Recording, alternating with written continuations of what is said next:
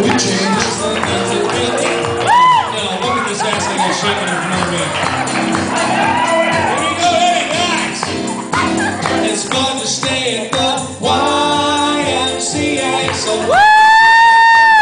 John, John, you're spelling Iowa, dude. You're spelling Iowa. Come on, let's get it right. Here we go, buddy. Edgar Snyder, back up again. It's fun to stay at the YMCA. So fun to stay Chris, at take Chris. Watch Jeff. All right. And whatever he's trying to spell, you sing that. Okay?